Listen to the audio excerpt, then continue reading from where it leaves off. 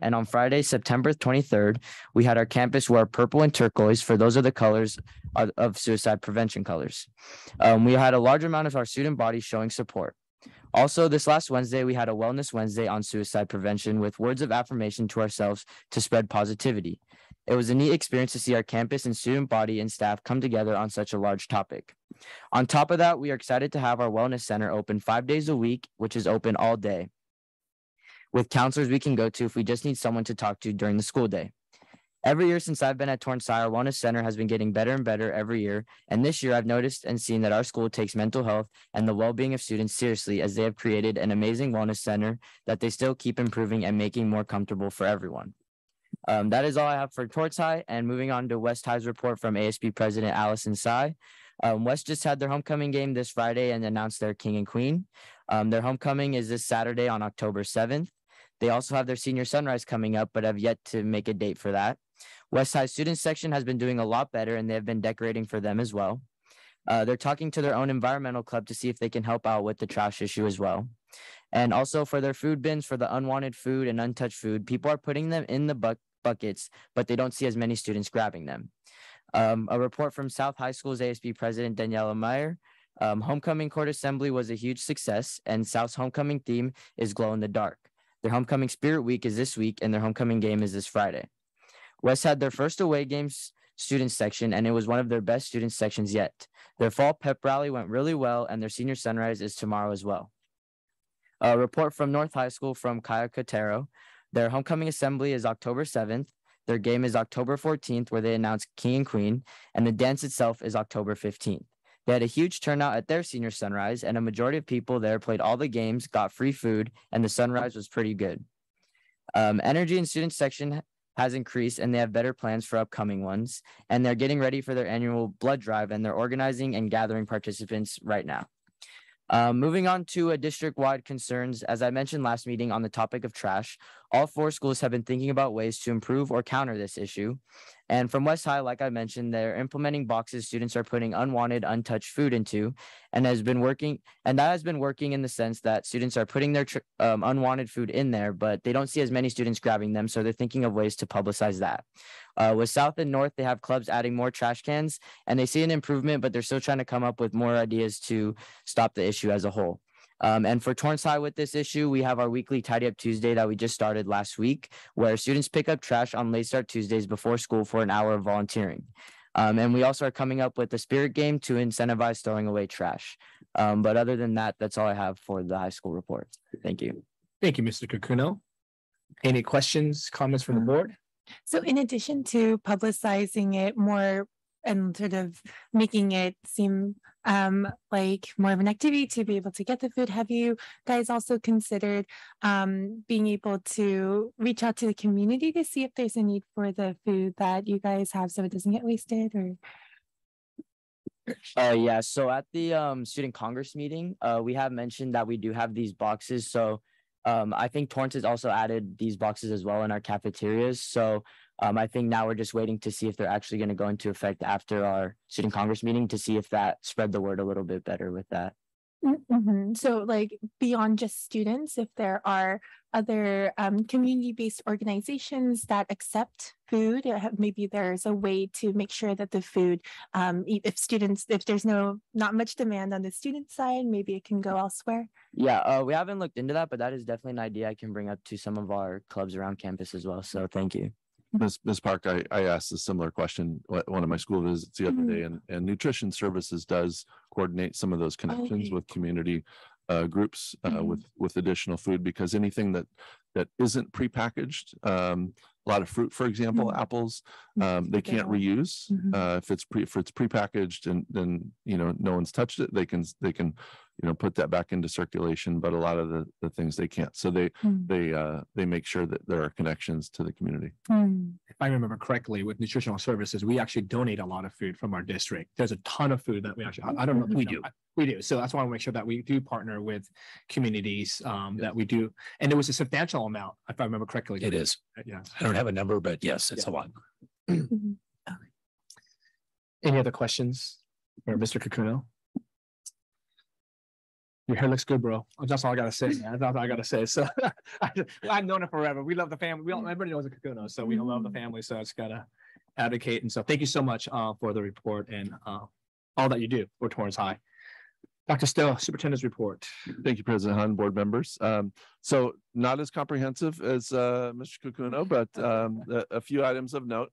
Uh, and I, I just mentioned my school visits and, um, you know, spending a lot of time, uh, trying to make, make it into all the classrooms, talk to teachers through the cafeterias and, and, and, uh, talk, talk to staff and just, you know, the consensus is that this year is so much smoother than anyone in past memory. Uh, many people can't think before uh, back to the fall of 2019, right? And, and uh, but but people are just very very thankful for uh, you know being able to be back and and are are seeing a lot of progress, particularly around mental health and and how students are engaging in classrooms and talking and and teachers are reporting that they're not having to to to you know pull answers out of students that they can that there's a lot of dialogue happening and i'm i'm seeing that firsthand. And so that's that's great. Doesn't mean we aren't still having issues um, around mental health and i'm i'm, I'm glad brandon shared uh, about the torrance high wellness center. Uh, i think that is a model for for the district and in everything that they're doing there. Um, but uh, but you know we continue to to look to to make improvements and and refine what what we've put in place in the last uh, couple of years. Um, I've had a couple student leadership meetings. I met with uh, students from uh, both South and uh, West. I have North High uh, tomorrow morning, and then Torrance High next week. Um, Gil Mara, Katie Crumpy, and I are presenting this Thursday night at the North Torrance Homeowners Association meeting at uh, at, North High. I think Chris Scheck might also make an appearance. We're gonna we're invited to speak about some of the programs, uh, dual immersion, the early college program, and some of the things that we're doing around school safety. Uh, and and so uh, we'll be we'll be speaking to that group then. Uh, the state of our schools mailer um, got delayed a little bit. We had, we had we have a new printer and and and new uh, designer on that, but it should it, it's at the printer. It should be going very soon uh, within the next uh, week or so. So, so probably by the time we have our next school board meeting, that will have dropped in mailboxes and, and, um, you know, make sure, hopefully you all get the, uh, a copy of that in the, in the mail. And, and we are sending that to all households in Torrance, as well as, uh, some, some, uh, neighboring zip codes.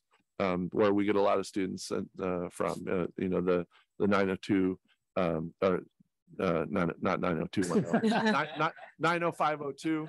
Uh, you know, because we know a lot of those families are, are Torrance families as well. Is West Beverly coming back? Yeah, that's right. West Beverly High. Um, and, and then finally, uh, mentioned that the, uh, Budget Advisory Committee, as well as the Smaller Footprint Committee, uh, headed by Dr. Butler, are, uh, beginning to meet. So if anyone is interested in, in joining that, reach out to him. Uh, but we are very excited about both of those in particular, the work of the Smaller Footprint Committee, because that is something that, um, you know, we want to make sure that, that we are, uh, good stewards of the resources of the planet and that we continue to find ways to, um, to, to not just have better practices for the district, but how can we better educate our students and families about what they can do as well at home? So um, utilizing that that uh, venue for uh, for that purpose is something we're very excited about. So thank you. Thank you, Dr. Stowe. Any questions, Dr. Stowe? Anybody from the board? Uh, quick question. It's wonderful that you will be presenting to the North Torrance um, Homeowners Association this Thursday. Do you know if it's gonna be um, broadcast? I have no idea. I I don't believe so, but um, 7 p.m. in the North High Library, if I'm not mistaken. Yeah, they usually meet U- here. Usually, Yeah. usually they, Great. usually they record it and then we'll upload it on YouTube. And I belong to that board, so Oh, I know, that- I know, I know. I know that we'll be doing that. You're so involved. I remember you were on that board Right. a few years ago and So we're Good. excited to have them speak. So it'll be good. that's bring great. tomatoes. Thank you. Eggs. Thank you. Any other questions from the board? All right. Oral communications, unscheduled hearings, non-agenda items, the Board of Education welcomes, um, input from the public. Speakers wishing to address the board on non-agenda topics have completed the appropriate submission form on the district website or in-person speaker card. Time allotted for public comments on non-agenda item is limited three minutes per comment. and for a total of thirty minutes. A speaker may not relinquish his or her time to another. And today, I think we have one, Priscilla Allers. I hope I said the right, from Turning Point USA. Priscilla Allers. Hi, I'm Priscilla Allers, and I work for a nonprofit charity organization called Turning Point USA. I have lived in LA County my whole life, and I'm appalled to see what is being taught in our schools today. Turning Point USA's mission is to identify, educate, train, and organize students to promote the principles of fiscal responsibility, freedom, free markets, and limited government so that they will feel empowered and not be ashamed about their beliefs, but will have a solid foundation for their values. While this is what Turning Point USA is striving to accomplish, the schools in LA County pursue to educate our children with the promotion of transgenderism and gender theory without the consent or awareness of the parents. Instead of promoting the importance of math, science, English, and history, the schools are undermining the authority of parents. When I was young in elementary school, I played T-ball and was one of two girls in the whole league who was playing with all the boys.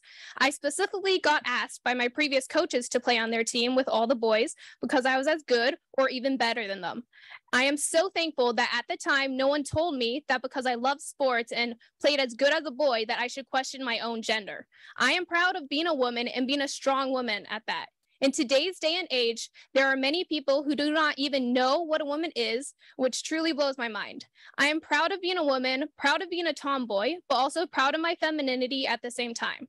So many so many young girls today are told to question their gender if they're naturally a tomboy, like I am, and in doing so may experience life altering consequences mm-hmm. if they listen to all these educators who are telling them that if they have these tendencies, they could actually be a boy. You're making them question and test their identity and strength. Simple truths based in science need to be upheld for our, our, society to flourish. The gross indoctrination we're seeing is creating a lifetime of medication and hormones because you can't simply pause puberty. Men can't men cannot become women and sex chromosomes are encoded in the fabric of our DNA. However, school districts seem to have no issue secretly teaching girls that they can be boys because they feel uncomfortable in their bodies.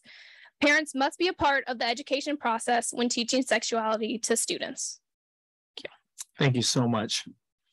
One of the things that we always say is when we see young people, we do appreciate the advocacy and their willingness to speak up. So we always encourage that, I think that. And So we welcome it, whether, whether we agree on your opinions or not. Um, we do appreciate to see young people really engaged and really kind of involved in this whole thing. Like for me, I wish I started a lot earlier, right? And so we welcome it and we are excited and we thank you for your comments. Um, going forward, anybody online, Mr. Mara? Uh, there are none, President Han. Right. Discussion, discussion action items. Speakers wishing to address the board on agenda topics have completed the appropriate submission form on the district website or in-person speaker card. Time allotted for public comments on agenda items is limited to three minutes per comment. Time allotted for each agenda item is 30 minutes per topic. A speaker may not relinquish his or her time to another. Any speaker cards?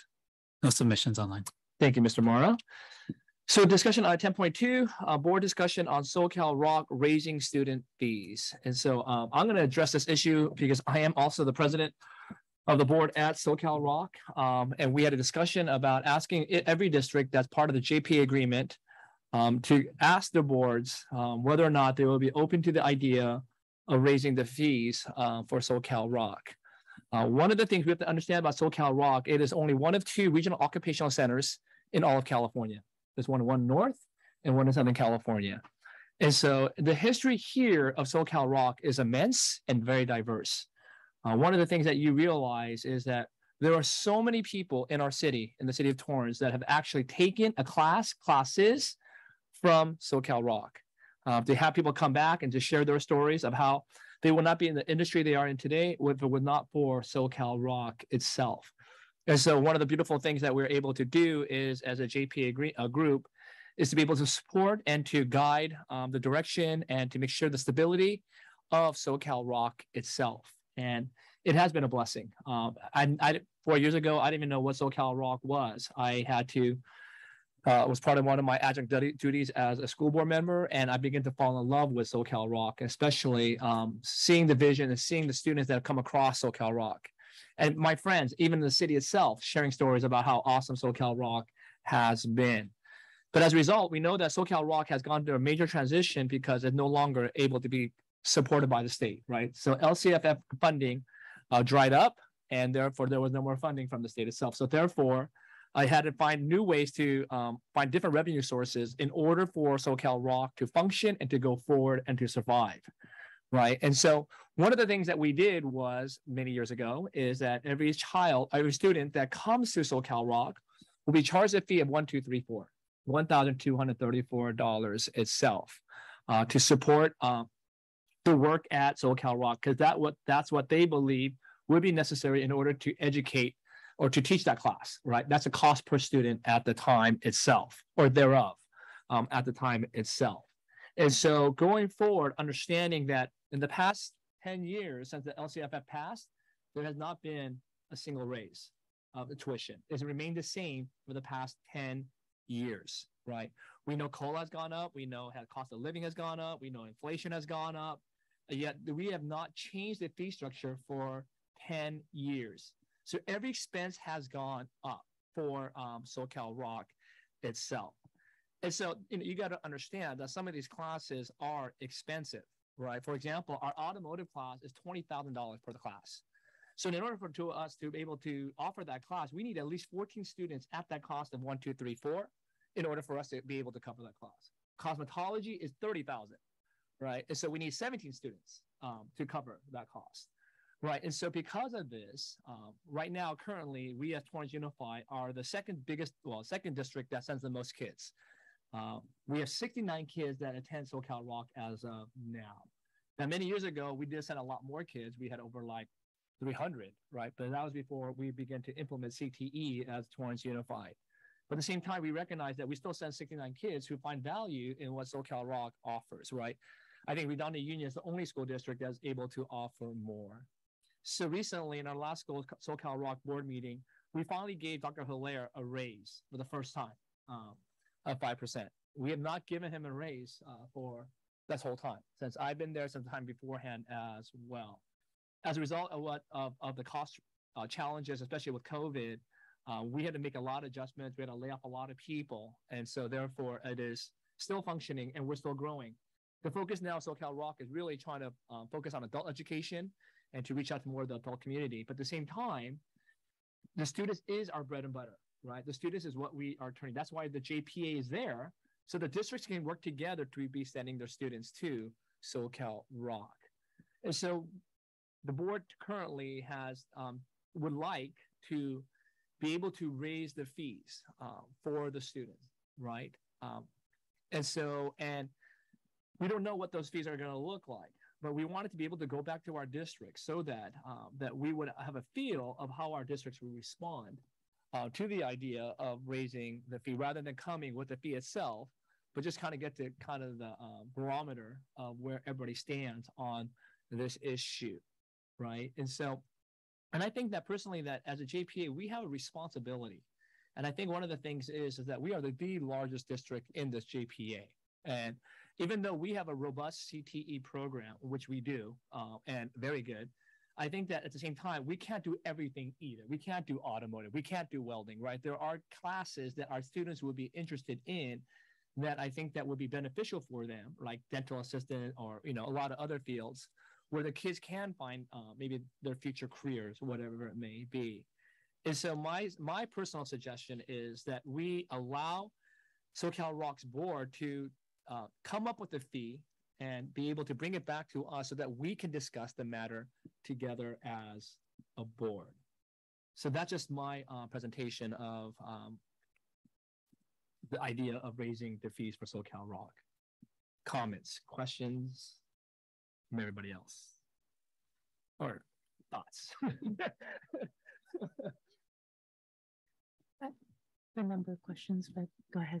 Anyone, yeah. Mhm. And I'll try to do my best to answer the questions, by the way. And I'm going to ask Dr. Still and Dr. Butler to help me out here too. And so, Um, just a quick question in terms of background of how Southern California ROC um, work with us. For our students, I believe there are seventy-two no, students, 69 now, sixty-nine now. as of right It- now. It was seventy-two before. It was, I think, comes chopped out or something. 69. Of those, um, what kind of classes um are they taking? And also, um, is is around sixty-nine students like an average number for um our schools? And thirdly, how does that work? Does it work as elective credits? We give them credits that goes towards graduation of high school or so? Yes, so Dr. Yeah. So you want to answer the, Yeah, so I, I don't know that there's a, a normal anymore because, you know, during COVID, we had Yes. like 15, 16 students in, in their program. So, um, you know, this is kind of the first year out of, uh, you know, that we've had this, this many. So, um, as far as the quantity of students, uh, and yes, it's a, it's elective credit typically that they get. Um, the, I, I don't have a specific list of all the different courses that students are taking.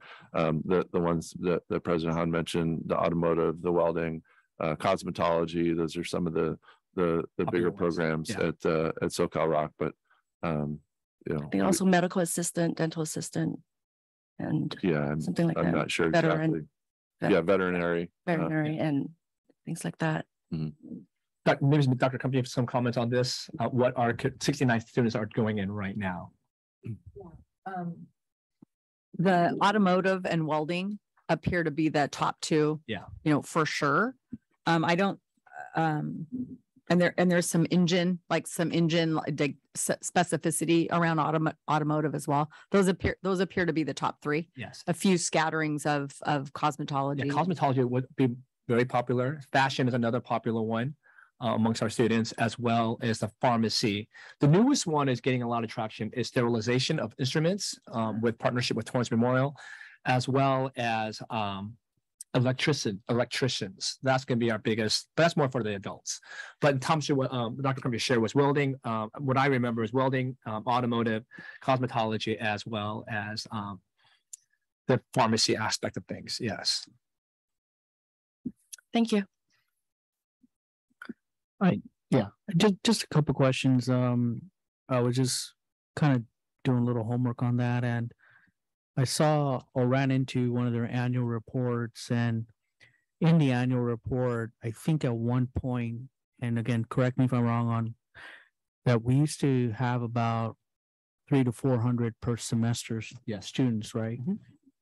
And I think right now, is it uh, sixty-nine per semester? Yes. So what's been the trend over the past five years? Like, why is there a sudden drop in the number of students taking these classes when we know that, you know, we need um these professions out there and and there's a need for them.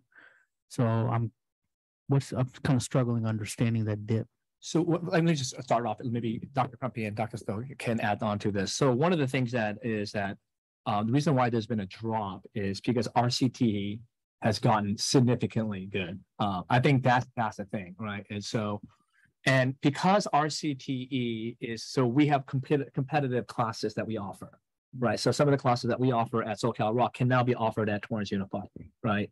And so because of it, because we can do it cheaper in-house than we can do it outsourcing to SoCal ROC, that's why rather than sending them to those for those particular programs, right, whether it be uh, whatever co- um, kind of classes, right, that's why you see a significant. So one of the things you see is amongst the school districts, Torrance is the biggest drop off.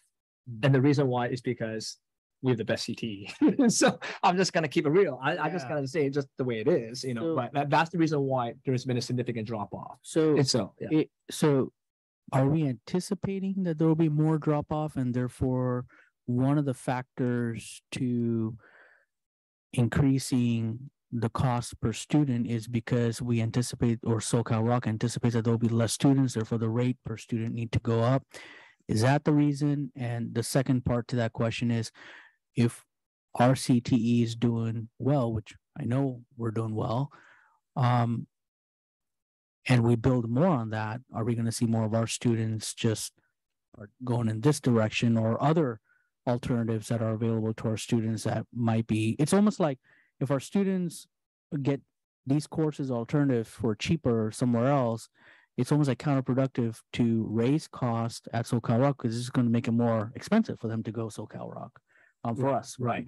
It's, uh, but my thing is, is that, so what what we're trying to identify now are, what are the classes students need today that are not Yeah. here, right? So that's the thing, we want to be non-competitive, right, at that time, right? We got to identify those classes like HVAC, like electricity, electricians, plumbers, you know, um, automotive, welding. So we're identifying now uh, courses that um, are not going to be, obvious. we're not going to do A through G here, right? That's the thing. Why would we do that? We would do that at Torrance Unified. So there are classes that we're trying to avoid so that we can be a partner to the school districts, right? Trying to identify what are those classes that we can offer that we don't offer at Torrance Unified, right? So Mm. that's one of the things that we're working on right now, identifying. This is why one of the things we were trying to ask Dr. Hilaire to do was to find those courses, like what are the overlapping courses so that we don't offer those, right? And so that we can offer the ones that the students can't need, but we just don't have the staff right now to do this, Mm. right? And so. Is, I, I know that there's no proposed cost um, for the increase, but is there at least some idea of what the cost is to to So host a class? Right. So the way the breakdown that I have is that what it costs to cost to teach a course, right? So if it costs twenty thousand dollars to teach a course, right? If we have a lower cost, I mean, we got to find a way to get more students to come in, right? And so rather than that, it's like because we know that the decline, the enrollment's been declining a little bit, then to have lesser students in that class, then we still can offer that class mm-hmm. itself. So here's the thing right now is if there's a class sign up and they- there's not enough kids for that class, we have to close that class.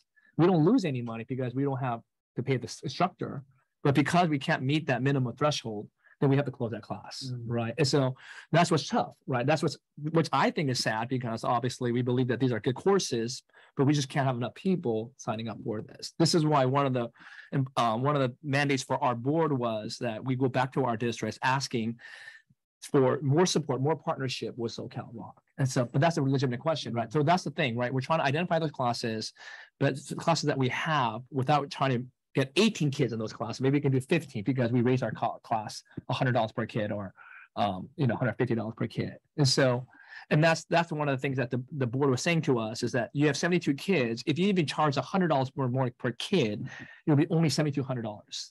That's, you know, they're not asking for the roof, but they feel like we have to adjust our, we have to raise the fees because we haven't raised it for 10 years, you know, since we did LCFF. Yes.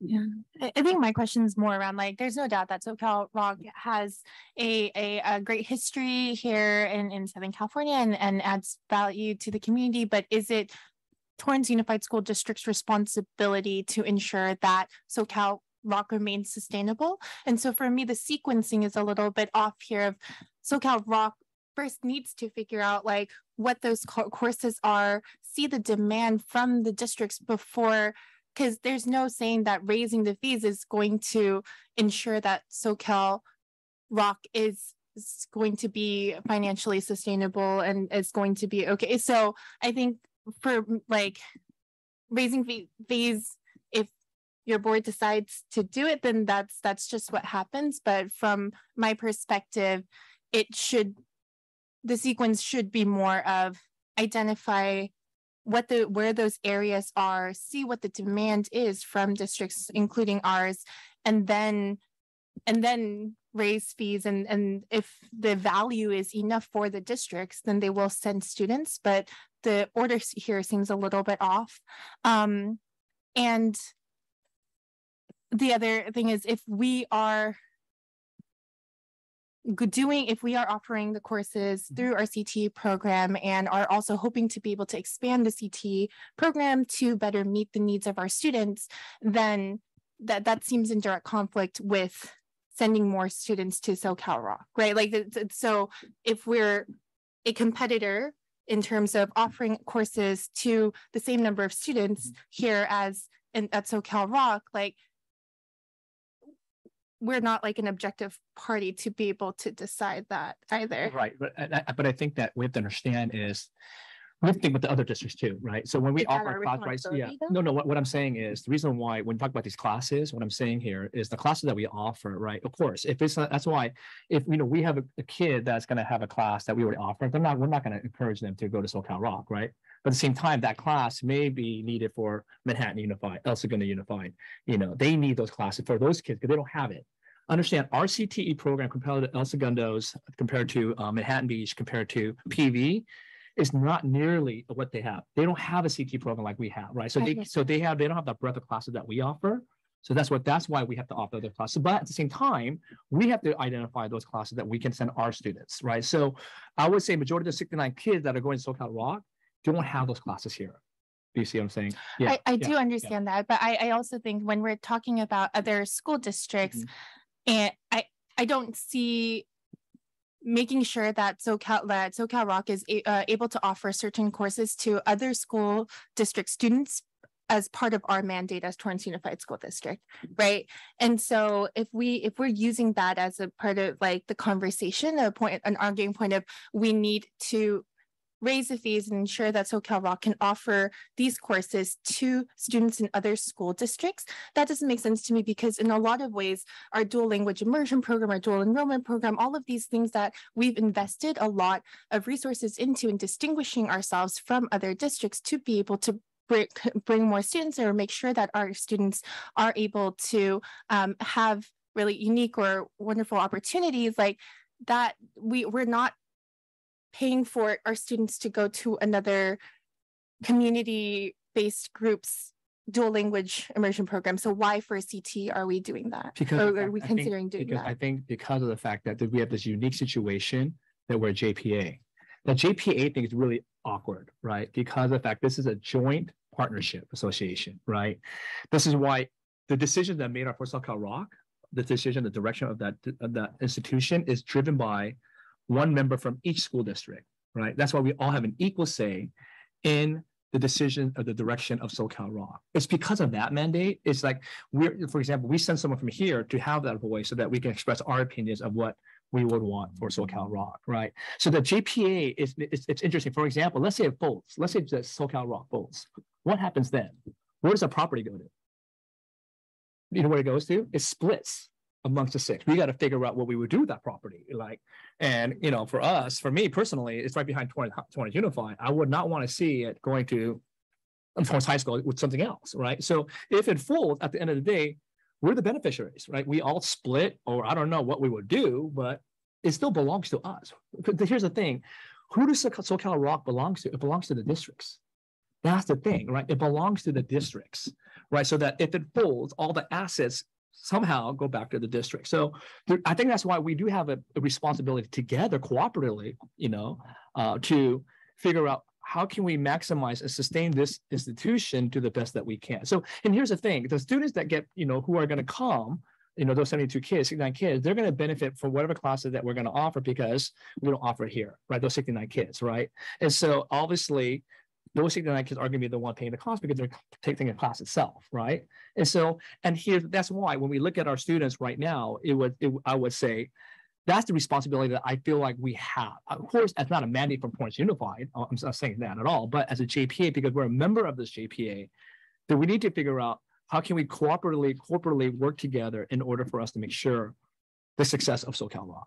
That's why it's hard. Yeah. Yeah, but yes, I, I, Yeah. think it would be great if SoCal ROC is able to be sustainable. But again, I think that if we are operating in some sort of market that SoCal ROC needs to first demonstrate that they are adapting and, and are offering something of value that that um, districts and students want before we're able, like, we shouldn't be protecting just because we feel like there's this, the JPA, right? No, no, but that's the thing, right? We're offering programs now, right? There are things that we're coming up with, newer, new classes, right? We're coming up. So yeah, Yeah. I think that should come first and Yes. then we should do, make the decision about um, like. But I think it's a matter of just fairness, right? At the same time too, right? We have not raised the fees for ten years.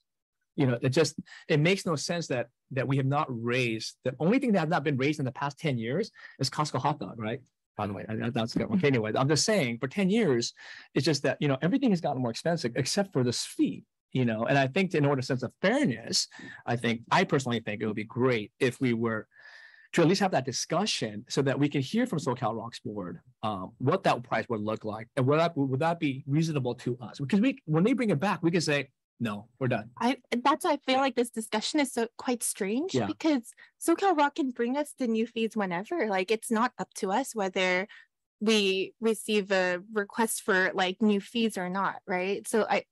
No, I, I think no. My thing is because at that time, if we say no to it, but the other boards just they say yes to it, then it's done, right? They will vote on it, right? They will say this is going to be the fee, and then um then they'll bring we'll bring it back to our boards, and then all the boards will decide, and at that point, then so be it. It will be, yeah. and then yeah. that's what I would expect. Well, that's what, that's what's gonna Yeah, happen, yeah, mhm. but I think that I want us at least to present our opposition or are okay with this, you know, so that at least they understand the, the temperature, right? What they don't know is where does our district stand on this issue, right? We're informing them so that when they kind of come up with this number, they would have these things in mind, right? You know, Torrance Unify is really like, you know, so rather than raising it thirty percent or twenty-five, they might just do ten, right? Because you know, we're trying to make it as easy as possible. We've got to raise it, but you know what, Torrance is not feeling about it. So therefore, you know, it might affect the way Mm. how much, you know, or maybe not do it at all. I don't know what they're gonna say, you know. Well, at I, this I point, would yeah. hope that the decision would be, the fee increase decision would be based on like what is fiscally needed for SoCal ROC and less informed just by what the temperature of individual board members on, on how they feel about SoCal ROC, right? But- But again, but again, it's again, like I said Mhm. before, is when you ask for the cost per student, it's hard to determine that, right? Because you got to figure out what is the cost per class, right? So it's thirty thousand, right? We know what the cost per class is, right? And so the question that becomes is, is we need a certain amount of students in order for us to be able to cover that cost, right? So, you know, can we get eighteen students to help cover that cost? Or is it more possible for us to get fifteen? Right. So that's why for us, we feel like that's why it's hard to say, is it one, two, three, four? Is it twelve fifty? Because we know what that cost is, right? We know what the class costs, but it's hard for us because here's the thing is that these classes too are also offered to adults. And the adult prices are a lot higher than uh, what we charge, a lot higher. So we would charge maybe same class as to an adult person, like eighteen hundred, rather than we charge one, two, three, four. Right. So we're trying to maybe minimize the cost to our students. That's why when you're asking the co- question, what does it cost per kid? It's hard because some of these classes have adults, some of these classes, you know, we we know what we need in order for us to hit that number. That's why it's hard for us to determine, you know, at that point. You know, so when we get the space cost down, this fundamental cost, okay, we know that you know our revenue is going to be thirteen hundred per student, right? So therefore now we can kind of calculate better. Okay, that means you know what for the adult people, then we can charge this much more or less or whatever, and then you know try to figure out what we're going to need. Right? We need a base. So that's what it is. Everything is based upon this one, two, three, four because of the fact that that's kind of a baseline revenue number that we can count on. Right. So that we can kind of like figure out what else we're going to need. And this is why it's when they're asking for the per cost student, how much it is. That's why it's so hard. Hmm. So, but I, I hear what you're saying. I do understand what you're saying about it's kind of backwards. Yeah. Dr. Gerson, I know you're waiting for me. I know you're waiting for you. So, Obviously, I know that SCROC has an amazing history and I've talked about it before. You know, my sister went, got her vet tech certificate. It was amazing and it was in a very important part of our community. And and and what I hear Ms. Park talking about and I hear Dr. Muhammad talking about is demand, talking about um, do they have a product that isn't being supplied by us? Is there a product um, worthy of the demand and worthy of the fee that we pay now? Um, and so I have to go back. I went and um, and rewatched the board meeting. It was October 18th. So literally 11 and a half months ago, that Dr. Hilaire, the superintendent of SoCal ROC, came before us. And so, um, you know, I, I watched. So he said it was established in 1967. He talked about how when the local control funding formula came out, how that was kind of a, a death sentence to a lot of ROCs. And then he talked about some other things like a career guidance specialist. Um, we have call, career college and career counselors on our campuses. He talked about, you know, they offer resume writing workshops and mock interviews. Um, that didn't seem like something that isn't, you know, is is that um, high demand that, that isn't something that we supp- don't supply. Um, and then talked about hands-on training in their facilities. And he specifically mentioned some courses. So he started off with 3D character design and animation. And um, I'm going to bring up El Camino and I will tie it in at the end why I keep talking about Elco. Um, so that's Art 144 for them. Uh, let's see. He also talked about video game design, which is Art 145 at El Camino. Automotive, um, you know, El Camino's program says you know, the student will gain proficiency in safety practices, automotive services, testing, troubleshooting, brakes, suspension, wheel alignment, engine tune-up, electrical systems, fuel systems, emission systems, transmission drive trains, engine repair, engine rebuilding, automotive machine, or air conditioning. Um, the same thing, long list for cosmetology and um, preparing students to take the um, the certification exam. Emergency medical technician, another um, another program that El Camino does, and you know over a course of 170 hours prepares them for their EMT um, certification test. And so we know that we have a partner who also does all of this. And and as ms. Park mentioned you know the the dual enrollment program where we do not lose money and el camino also gets paid um, from the state. Well i had asked um, the superintendent dr hilaire how um, the cost of courses was determined and he said after about a year and a half one superintendent just said just take one sixth of the district's money um, one sixth is a huge amount because that goes to more than just paying for an instructor in one of our classes. It goes towards so much more that the Torrance Unified supplies, which I did talk about at that meeting. Um, you've already talked about the how much. Um, one of the things that that really bothered me and and so I had asked uh, Dr. Hilaire is is what has SoCal ROC done to learn about TUSD, to learn about our district's needs, to collaborate with us, and and to understand how they could be a good partner. Um, and so I have to turn to either uh, Dr. Stowe or Dr. Crumpy and ask you, and I already know the answer, but how many times has uh, Dr. Hilaire or SoCal ROC met with your staff to discuss courses, offerings, and and TUSD's needs?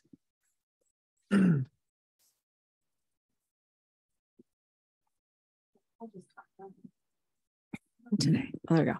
Um, so it's my understanding that um, Dr. Hilaire met with the North High principal um, on one occasion last year and a counselor from SoCal ROC um, met with the Torrance High School counselors. Um, I believe from that October meeting, um, in that in that collaboration with trying to come up with something different from our offerings and El Camino's dual enrollment, you know, partnership offerings. We were um, waiting for Dr. Hilaire's plan on um, on on next steps, and then our principals were were readying for for the when we hear from him for those next steps and meetings. So in the last 11 and a half months, one. But Let me, let me clarify that. So. Well, I, I, I- I, I want to. I know, no, no, I wanna- but I think you asked a question, right? So can I answer that question? Because she's not the only one who has met with Dr. Hilaire.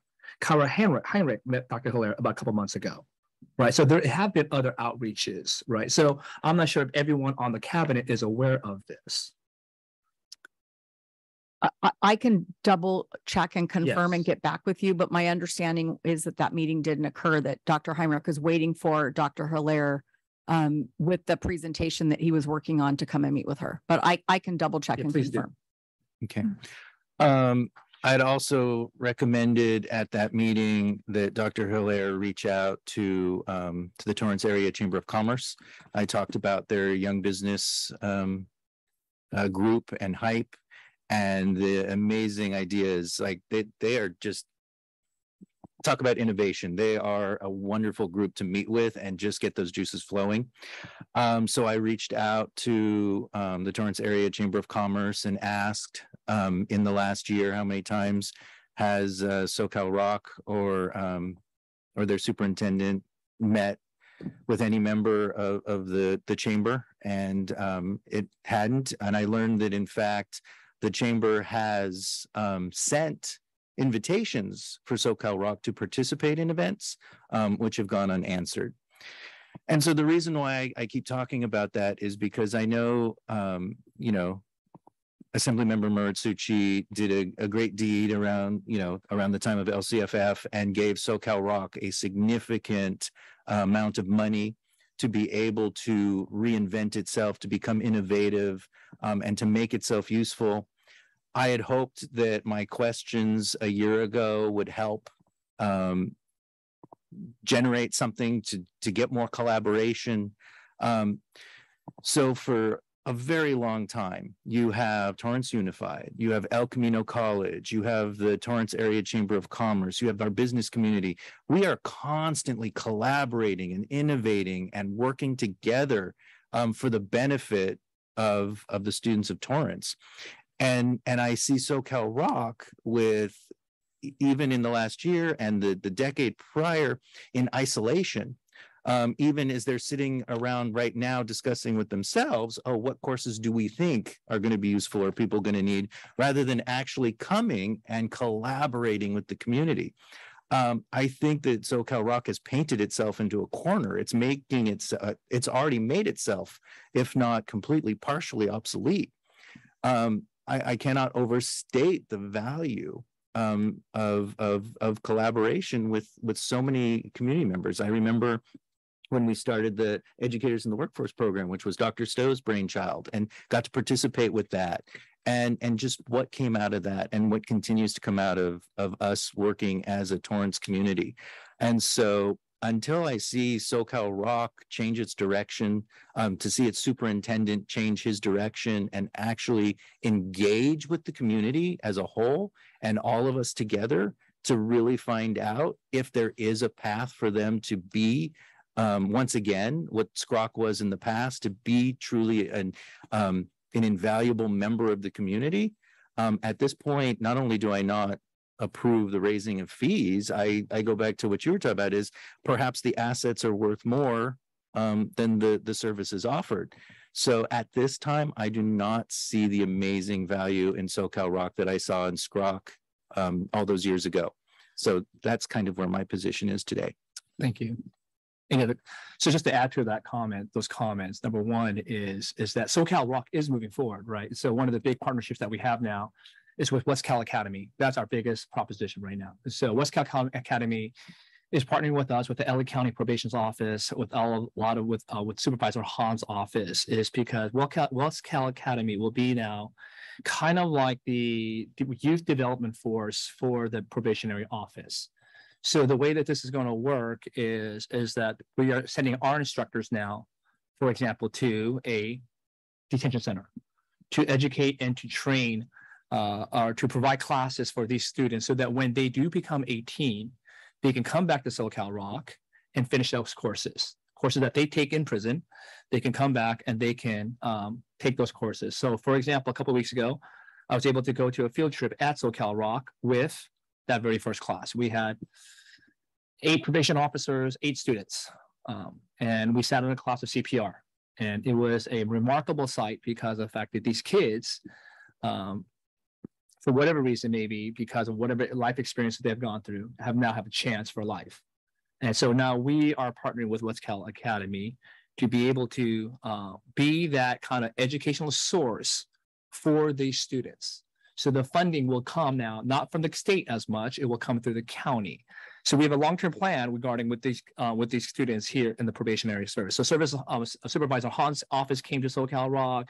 We have attorney Rob Bonta coming down to SoCal ROC because of the fact that they're all looking at this paradigm now, uh, another avenue perhaps where we can now offer services to these students in prisons or detention centers so that when they become 18, they will have a pathway perhaps to a vocation whether it's plumbing, whether electrician, whatever it may be. We've become now an electrician, our electrician department, which is very new, about, about a year or two years old, has been thriving and growing. We are trying to, again, increase our adult enrollment right now. Um, so things are moving um, forward. Uh, and so I think that's where we feel like is the direction of where SoCal ROC's going to go is going to be with this partnership as well as um, as well as the adult school, right? So that's why you see our adult enrollment increasing, right? It's just increased a lot uh, than what it was before because of the fact that to say that we're not being, in, in, in, um, um, you know, coming up with ideas and trying to move forward, we are. I think that's an unfair statement um, because obviously, if you saw what we did with West Cal Academy, if you're seeing what we did with our adult enrollment, to see our new programs, I think we are moving forward, right? To say uh, regarding the whole um, the whole idea of partnership, right? And you have to understand here too, at the same time, uh, we had to cut a lot of our staff off in the last two years, right? So when you're asking like how many times have they come, how many times have they done anything, it's it's now us as a work, so we're almost acting like a working board, right? I'm the one going asking, you know, and I've asked if we can have where uh, monthly lunches with our counseling staff at Torrance High School, but they said no, right? So we come with, I so to say that we've not come with ideas, that's unfair because there are things that I've asked we can do, but then my the response has been no. So to be fair, we have asked. I, I think to say to say, hey, you know what? Can we do this? Can we do that? The answers have been no. And so I think it's unfair when you say because we just haven't pushed it. And so I think that has to be understood as well, right? And so my thing is is that we just don't have the staff right now, right? We just let go of our assistant superintendent recently, right? Um, and then we lost another person recently. So we are really down to the bare bones, right? Mr. So, yeah. I hear you saying we a lot, Uh-huh.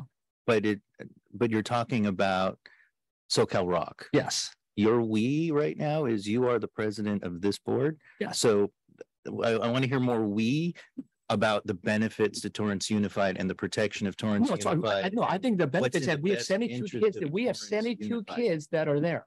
We have seventy-two kids that are there, well, sixty-nine, right? We used to have three hundred thirty-three, right? To say that we don't, that we don't offer value, I think is unfair. I think for the seventy-two kids that are taking, sixty-nine kids that are taking classes there, there is value.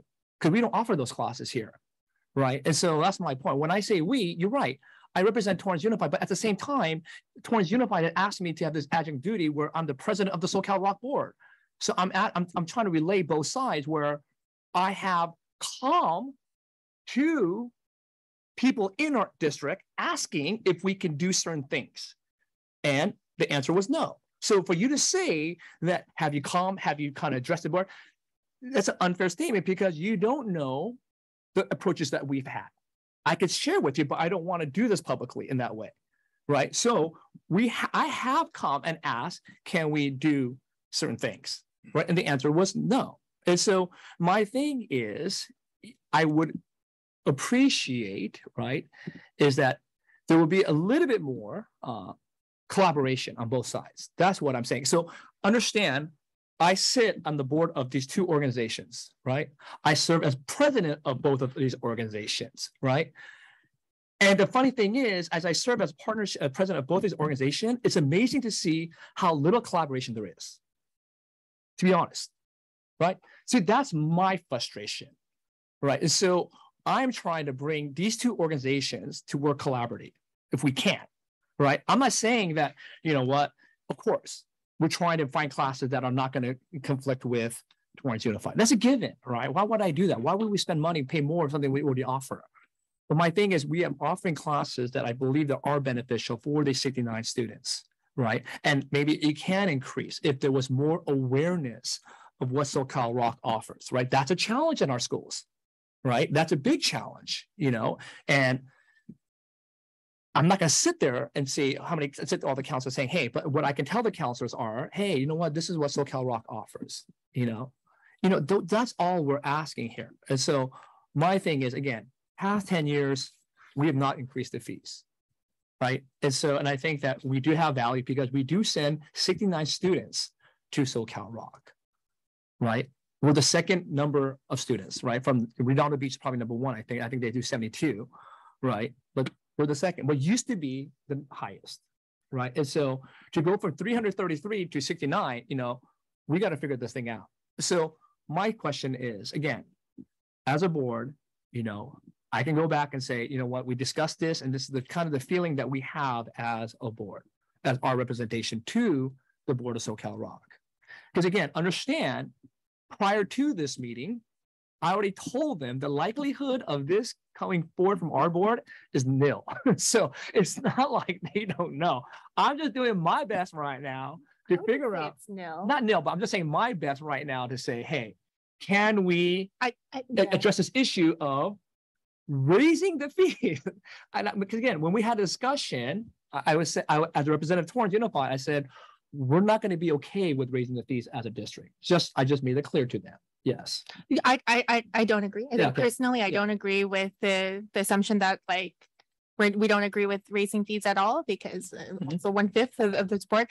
Um, I think for me, what I would want is transparency into how the fees are determined. Because for me, I want there to be clear separation because the scope right now of SoCal ROC, it's not just high school students. You're saying Right. that there's an increased focus on adults or Yeah. these other partnerships. And so as I, I don't think it's responsible for us as Torrance Unified School District to be increasing fees to, so that SoCal ROC can pursue these other other partnerships or have um, more resources or staff or whatever for these. Uh, so I, I just want a clear separation when we're talking about increasing fees for students that that is to match with whatever the like market rate is because of the 10 years that it's been since they've raised fees. And I want like clear justification for why a fee is a certain amount rather than it be based on based on the sentiment of board members at different school districts, we're going to raise it some percentage. Like that won't fly for me. Right, so Mhm. again, the basis that we have right now is one, two, three, four, right? That basis affects what we charge for adults. Yes. It has to, Yeah. right? Because if we have to charge a larger rate then for the adult school to cover the cost that we can't not meet because of one, two, three, four. Does that make sense? Right? Because we have a set cost, right? And so we know that we could probably get 15 students, one, two, historically, we- we- I'm sure we have data that way. So we calculate one, two, three, four times 15. And then whatever difference is, we got to figure out, okay, we got to charge this amount for adults, right? So that we can have this course. We know, we know what the course costs, cost $30,000 for cosmetology. But it's, it should be the same thing for adults. It's not. Adults It's- are going to pay the amount that they think that it's the, the course is going to Right, give so that's- value to them. So I, I feel like there is a way, like that's how pricing in markets are always done. Like they That's why- figure out what is the, the consumer's like willingness to pay for something. But at the same time, we have our own cost. We got to figure out, we got to cover our costs, right? Exactly. So that's I why- think so the like going if rate- there So the going rate for our classes, costs- no, our going rate is fair in for the adults. It is a fair cost, right? Mhm. We're not crazy expensive or cheap, or it's a fair cost, right? And so that's why for us, it's trying to determine, right, is that can we raise the, so the, uh, the, um, the, uh, the base cost for the kids, students, right? Because that's different. It is significantly different, right? What we charge an adult is because it's different because the kids, we, the funding, where does the funding come from the state? It comes from the state, right? From us, right?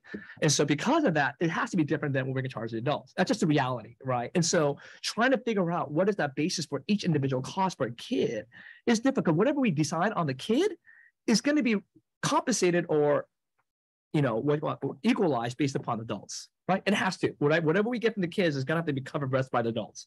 There's no way around it, right? And so, and hopefully we don't make that be higher, that much higher, so that we obviously if we make it too high, then we're not gonna get the adult students, so then we can offer that class. That's why it's a nuance. It's very, it's very fluid, that cost, right? We just know what the cost of the class costs. Thirty thousand, that's our instructor fee and the consumables. That's all we know, right? So then we gotta figure out, okay, we know that automotive costs twenty thousand. Okay, so how are we gonna get to that twenty thousand? Right? We know we would charge one, two, three, four.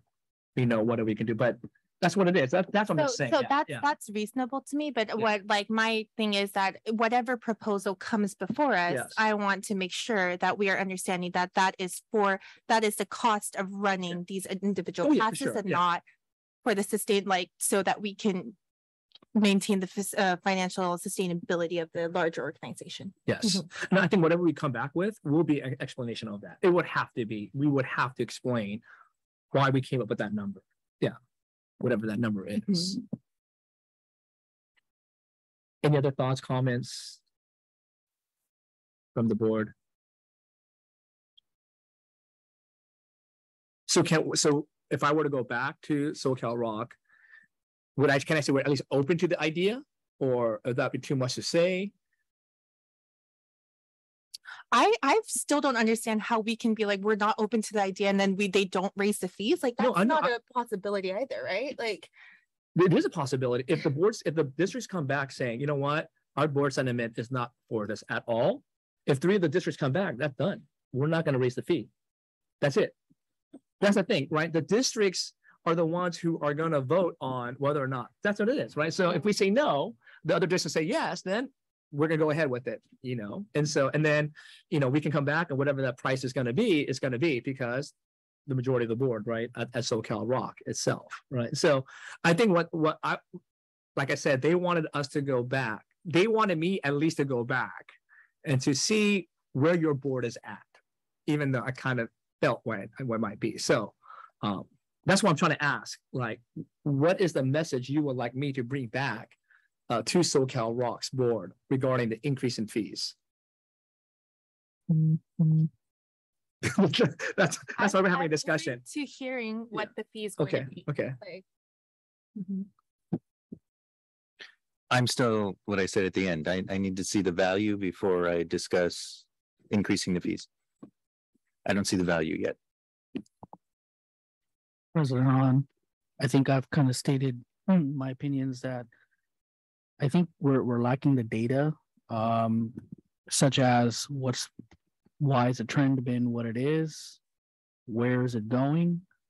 Um, are we able to supplement that trend with our courses, El Camino, um, adult school? So really, what's the plan for SoCal ROC? Where are they headed? And how are they formulating their cost structure? And what's that gap? And therefore, what's their proposed increase? And then with all that information, if that can be presented, then I think we might have a meaningful conversation to see if that's something we would like to digest or not.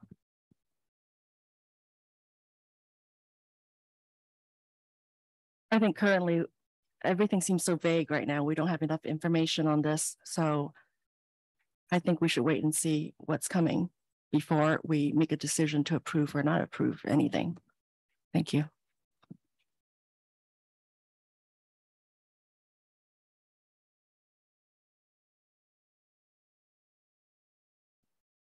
Okay. Any other comments, thoughts? All right, thank you for the discussion. Um, moving forward, and again, I, I again, just going forward, I, I, really want to express that um, that we figure a way also as a board how we can collaborate better um, with um, with SoCal ROC, um, and so it's just this institution is uh, to me an asset to our community, and we do have a voice and a seat on the board of SoCal ROC. And, and, and I think that um, it, we should be able to utilize that to the best of our ability to for the best interest of Torrance Unified, as well as for the um, for SoCal ROC itself. Um, moving on to consent items. Um, does anybody want to pull anything, or can we get a motion to approve the consent items? Fifteen point eight. Fifteen point eight. Anyone else? Fifteen point nine. Fifteen point nine. Fifteen point two. Two. Anyone else? Oh, nothing, Dr. Mohammed? Mine was fifteen point eight already. Okay. All right, so can, can we get a motion to approve consent items except, um, all consent items except for 15.2, 15.8, and fifteen point nine? So moved. Got a first and a Second. second? Got a first and second? All those in favor say aye? Aye. All right, motion approved. So fifteen point two. I forgot who said fifteen. I did. Okay. As fifteen point two is approval for Katie Clumpy and Katie Schinkelberg to attend the National Association of Young Children Annual Conference in Washington DC. Um, Dr. Crumpy, thank you in advance for uh, attending this conference. I like to note that a lot of times our cabinet members and other um, teachers and administrators attend conferences like this to to learn from the other districts and so um, what more that we can do and how to better our district. Um, can you tell us a little bit about, I'm just curious as to this conference. Can you tell us a little bit about the um, this NAEYC? Actually, there's an E. Uh, that's the subject didn't say for the education of young children, but what you um, are focusing on, what you plan to learn, what do, is there a theme to this conference this year? So with with uh, trying to be more inclusionary with our preschool program and with a new um, coordinator of early childhood education, um, neither one of us have have attended an early childhood conference before, so we're in need of of educating ourselves and and and learning together um, to come back with a comprehensive plan um, to kind of extend our vision to ensure that we are offering the most opportunities that we can for for our three and four year olds um, as we move from from um, you know a, a Tykes preschool and a launch preschool, looking into a possible um, you know fee-based preschool so that we can offer as much early childhood education and assistance for our families as possible. So um, thematically, because of the the it for for us, um, there are new um, there are new guidelines within California um, that that are maybe new in California for in, ensuring that our preschool programs um, are, are- have full inclusion of our special eds and our highest need students in those classes. Um, it is not um, new to a lot of other states in the in the country. So part of part of that um, the national conference is looking at how to infuse um, special education students into our existing preschool programs. Um, and so that that's one of the predominant reasons um, that that that we're attending, and also to look at what um, you know, and following what we do as a district, how to how to provide professional development um, and collaboration activities for for our our teachers because they're funded differently. Um, they go to school in different times. They've not been part of the K 12 system. And we're looking at designing a plan and a program so that we can um, have highly, highly trained, um, you know, uh, uh, teachers that teach our youngest kids. Great, thank you. I, I, uh, yeah, I didn't think that we went to this conference before, so this is a new thing. Wonderful. Do you by any chance know if it's always in Washington DC? I, I don't think it's always in Washington DC. I think they move um, move across the um, a- The country, across- to be across fair. the country. Yeah. Cool. I just happened to be there at that exact same time that you'll be there, Oh, well, actually. you can host us. one. Yeah, I don't know. Thank you. I move that we approve fifteen point two. Second. We got a first, second, all those in favor say aye. Aye. Aye. All right, moving forward to 18 15.8. Approval for Torrance Unified School District to enter into an additional c- consultant agreement with South Bay Children's Health Center. So it states that we're going to be um, expanding our current agreement to include six additional clinicians and social workers. Um, is there a reason that we are not able to fill those positions in-house? What it, what, why is this um, consultancy? Why is it needed? Yeah, we have, we have flown this position for our social workers and we have been unable to fill them at this time. Um, and so South Bay Children's has, has graciously offered to assist us um, and provide us um, uh, looking for those, em- looking for those employees um, with a full understanding that we will continue to recruit and find the employees as well. And they will pull back um, and adjust the contract as, as needed. So we're not bound um, you know, for the entirety of a, of a school year. They're being very, um, very strong and, and, and collaborative partners with us on this. Thank you. Any questions about this? Yes, go Dr. Mohammed. President Ron, I, my only comment on this item was that um, I would like if there's concurrence from the board to have an updated presentation at some point uh, over the next couple of months, just on the general status of our mental health and wellness centers um, in our district. How are we currently staffed? Um, what's been the caseload like? Um, and what more do we need to do? Where are some of the areas of opportunities and challenges. So um, just if we can have a presentation on that, I'd like to understand more about our general status of mental health and wellness in our district. I agree. I think that's a very good idea. I, I have um, searched for information regarding mental health that our district has been providing um, all this time, because I know we have been doing that. And what, what we've done, you know, what, what more we could do, um, how many, how many students, how many employees uh, utilize our mental health system, um, resources. Um, I think we've done a lot in this field as obviously you guys know this is one of my top priorities. And so I think a presentation on the current status of what we've been doing, what we're going to do and how it's been would be wonderful. And I, I think what would be helpful too is to identify what we mean by mental health. Uh, I, think we, we, this word has been tossed around and I, I'm not sure about, my colleagues up here. I don't know, uh, what this is. Uh, I, I don't know when we say mental health, well-being, I, I, I, I get an idea, but, uh, I don't get a full-on understanding, a picture, to be honest with you. I just, when I talk about mental health, I'm doing well. That's what I think about mental health, but Um, I, I wonder what, are there categories for this or are there metrics for this? Or, um, just so that you can, afford- like, like Dr. Muhammad said, just informing us. Um, I, I think that we use terms, um, just because they're seem to be politically correct terms, but I kind of want to have a better understanding of what we mean of mental health and and and what is the goal of mental health well-being like is there at what point do we say they're mentally healthy or well-being at that point? I just again just inform me uh, maybe i'm just being naive here. I just um i'm just kind of curious how or are there metrics when when the when our government talks about this um things like that unless you guys know better than me so yeah. So then can we get a motion to approve fifteen point eight? So moved. second we got a first to say all those in favor say aye Aye. Aye. Fifteen point nine, approval for Torrance Unified School District to enter into an agreement with Hazard Young, Attea and Associates to provide consulting services. Mrs. Park. No, me. Oh, Mr. Mr. Mr. No, Gross, no, this sorry. is, this is the thing I always get excited about every time I see it on the agenda and, and, and can never get enough information from Dr. Crumpy. Um, I'm excited that, uh, you know, I remember when I went into your office and asked about two language dual immersion and you planned it during a pandemic, which, and started it during a pandemic, which is just so amazing.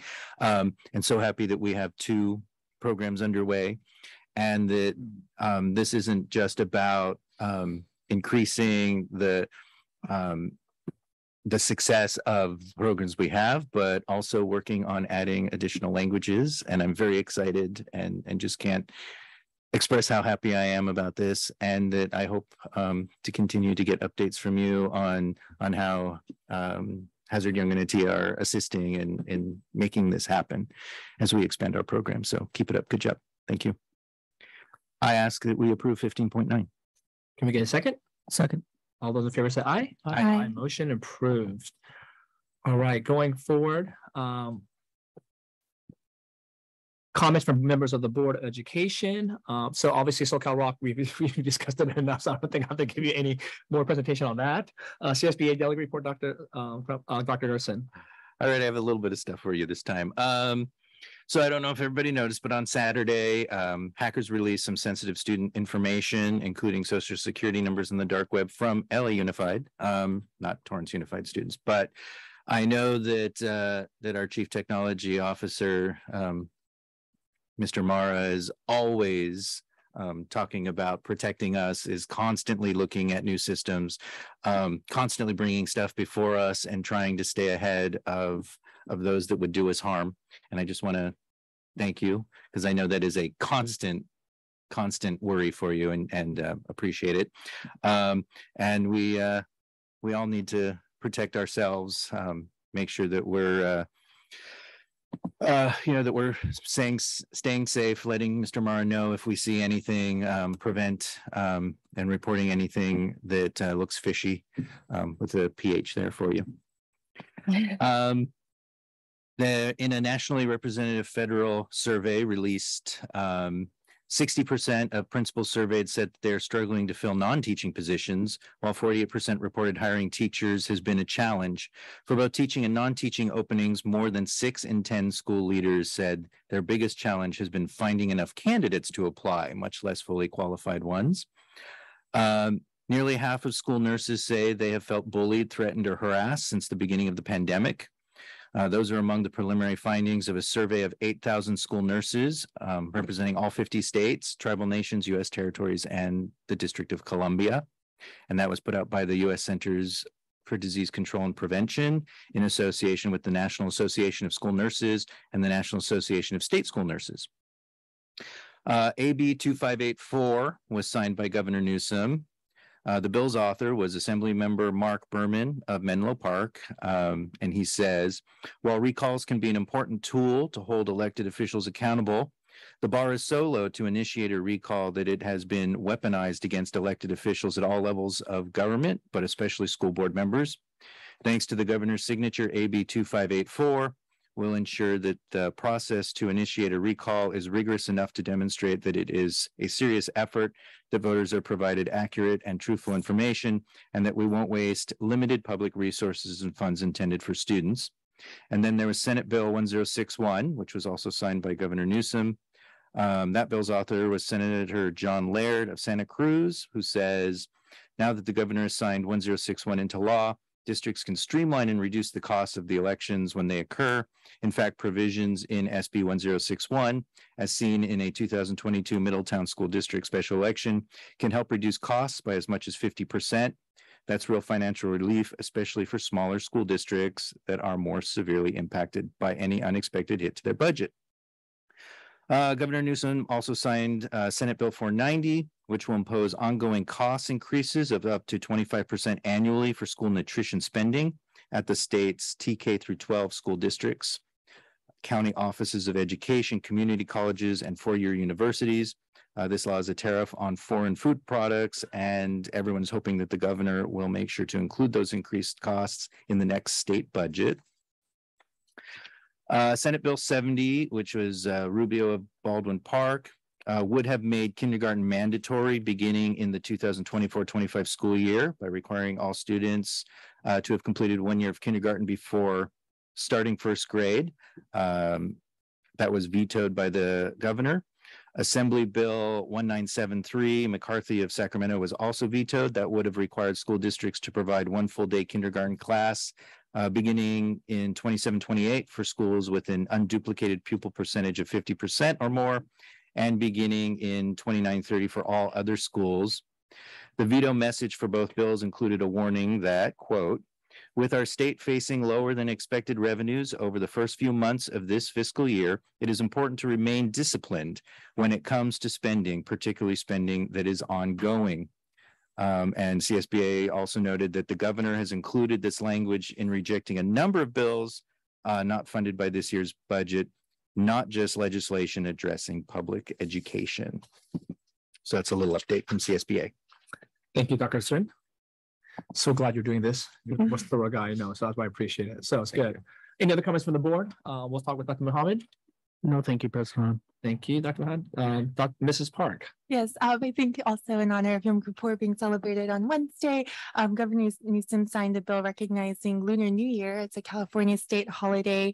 Um, and I thought that was just very cool to see. And, and I think one of my favorite parts uh, of being outside of Torrance or outside of the US has been e- being able to share my cultural heritage, um, taking friends out for Chuseok to Korean restaurants and things like that. And so um, I really appreciate um, how our district is so diverse and there are so many opportunities for for students, for teachers, for parents to be able to celebrate their heritage. So mm, in addition to it being Hispanic Heritage Month. Thank you, Mrs. Park. Um, Mrs. Lieu. Yes, thank you, President Hahn.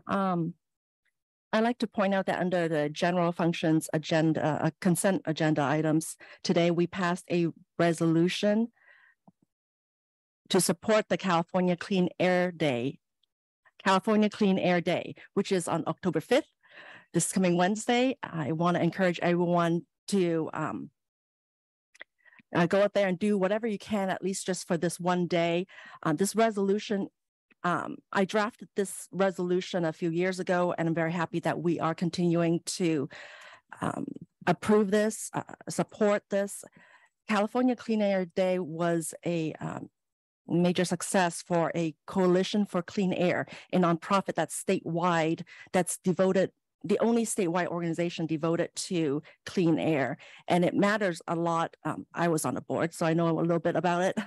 But um, I'm just very happy to see that we are encouraging our school administrators, teachers, and other employees to help teach students and others about the importance of lower emissions. One of the things that people um, that I see all the time is is that um, there are cars outside schools when when school ends, uh, and the cars are idling.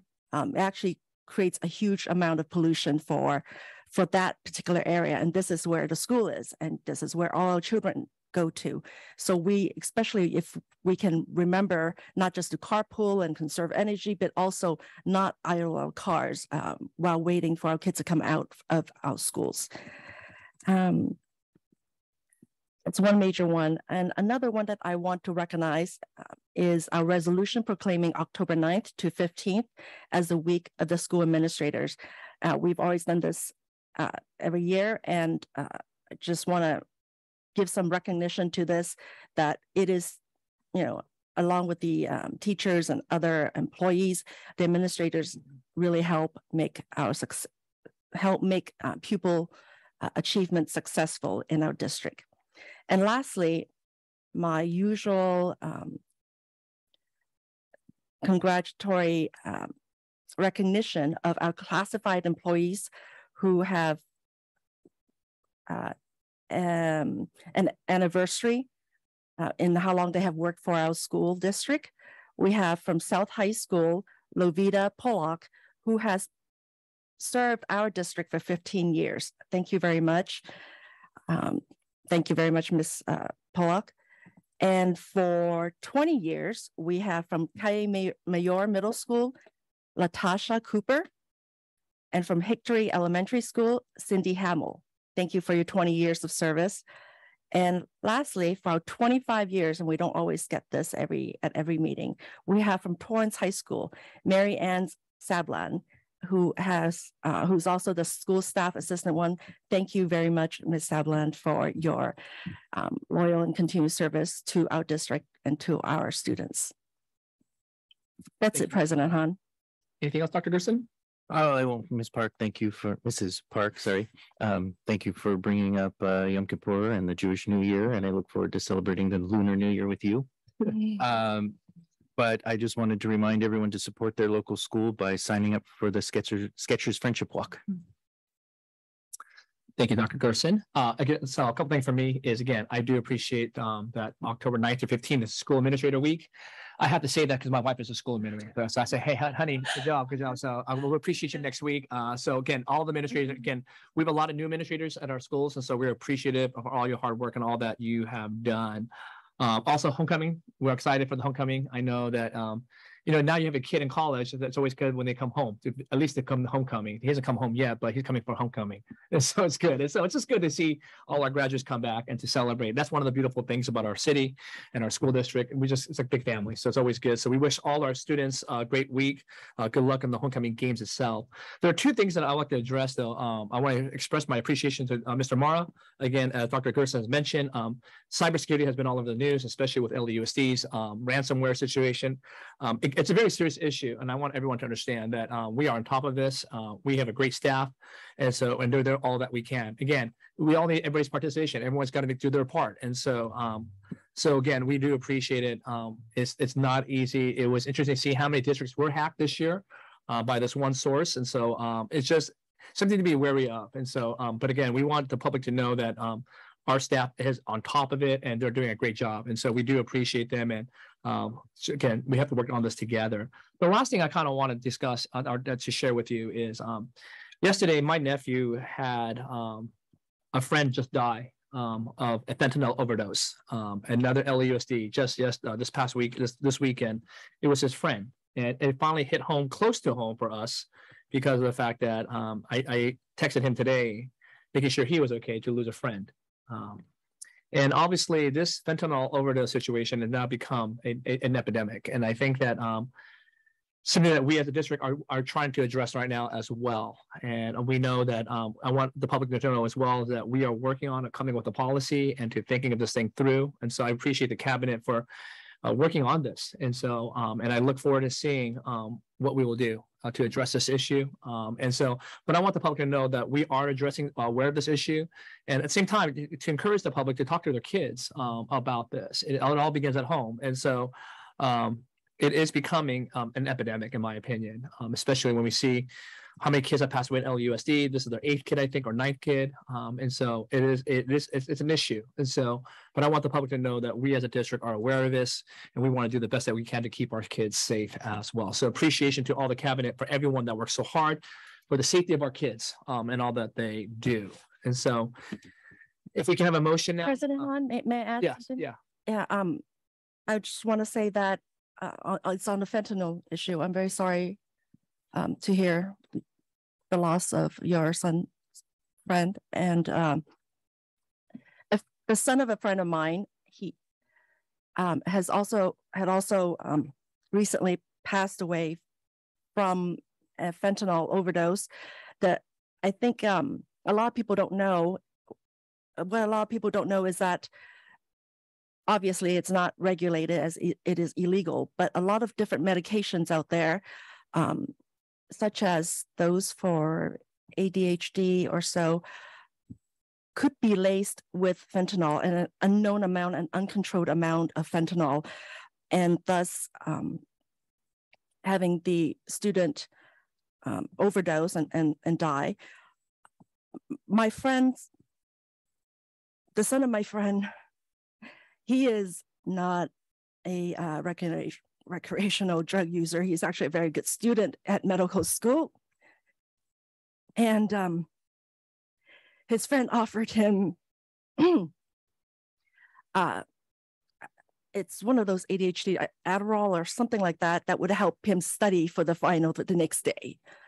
And it wasn't, it was completely, you know, they, they, he had no idea that this medication, this one pill, uh, did not come from a pharmacy, a legitimate pharmacy, but rather came from drug dealers who, who did put too much fentanyl there. And I just want to students, if and parents out there to know that if